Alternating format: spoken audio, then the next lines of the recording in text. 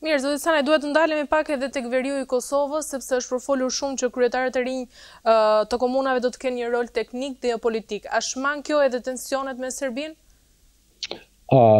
Kjo nganjëherë më ngjan në çështjen e tabelave. Tabelë, sikur tabelat në Mitrovicën e Veriut. Prandaj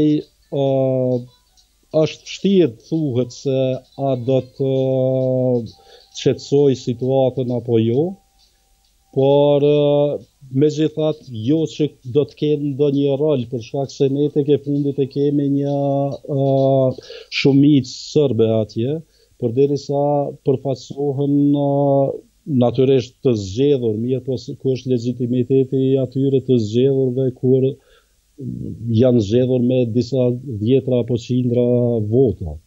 Kështu që momentalisht duket që nuk ka nuk do të ketë tensione, mirëpo nuk e besoj që do të ketë edhe funksionalitet. Janë mhm. disa zgjedhje sa për sy e faqe uh, po mendoj ligjërisht janë ok, mirëpo ku është legitimiteti i tyre.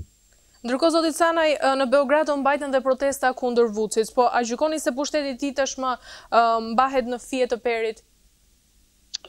A, shiqoni, zakonisht ndodh kështu, në qoftë se e shohim edhe në kontekstin historik, zakonisht, Këto qeveri që zgjasin shumë dikur bëhen edhe monotone për popullatën dhe vetë vetë votuesi ka apo vetë vendi ka nevojë për një figurë të re. A, natyrisht që Vuçiç ka pas disa probleme sikurse i dimë me ato vrasjet Po dhe tani atje po po shtjellohet çështja e mbajtjes së armëve dhe tërheqjes së armëve dhe si duket ajo është pika ku ku për çka edhe po protestohet.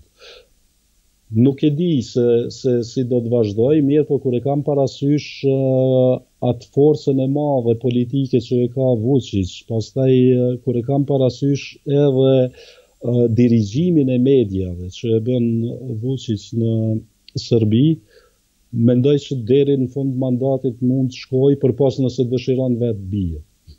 Duke parë gjithë këtë situatë, zoti Canaj, a mendoni, a parashikoni një takim në Bruksel që të jetë frytdhënës? A momentalisht tashmë varet edhe sa është presioni nga bashkësia ndërkombëtare, për shkak se ju e dini që ka Ka qenë në bisedë që pastaj zakonisht palët kur kundërshtojnë, se mund të kenë edhe sanksione. Se si do të duken ato sanksione nuk e di, mund të jenë vetëm sanksione politike, po mund të jenë sanksione të rënda politike dhe e cila pastaj shpesh herë çon edhe qeveritë edhe në rënie. nuk e besoj që mund të ketë ndonjë sanksion të rëndë ekonomik, po Mjafton për shembull në na të gjithë e dimë që Kosova ka gjithmonë ndërkom, nevojë permanente për përkrahje ndërkombëtare dhe a, pa përkrahje ndërkombëtare do të mungonte edhe etablimi mëtutjeshëm i Kosovës në bashkësi ndërkombëtare. Sa do të zgjasë nuk e di, ë Duket që, që ka nga të dyja palët një farë ngurtësie dhe kokëfortësie që është normale në tavolinat negociatore, po që do t'i vijë fundi, ë tani vetëm jemi në fillimin e një fundi të diçkaje, mendoj unë.